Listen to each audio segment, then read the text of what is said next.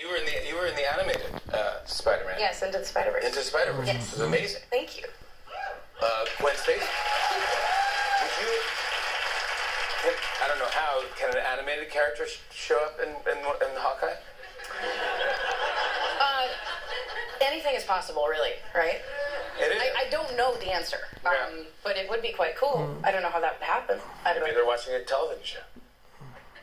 Oh, like she, like she's on the TV i- in the show that they're together watching. We don't know. I know, but I can tell you kind of got excited about that, which means that you might know something. I don't. Uh, no, I genuinely don't know anything, but I love trying to get you in trouble. We could, we could pitch it. I'd like to. We could. You know, Kevin. Kevin. Kevin, you never asked me. I'm never your first choice for anything.